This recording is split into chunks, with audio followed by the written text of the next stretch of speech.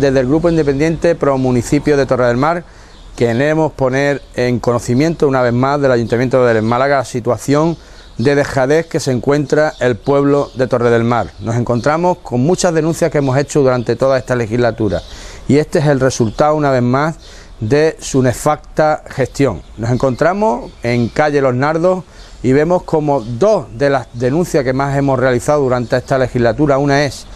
cómo no uh, reurbanizan eh, el tema de los alcorques donde no le ponen los árboles, llevamos denunciando y se aprobó en una moción en el Pleno de la Corporación de poner y reponer todos los árboles que faltaban los alcorques, vemos cómo no están y a su vez el estado de suciedad que se encuentra en una calle tan emblemática como es el entorno de las yucas.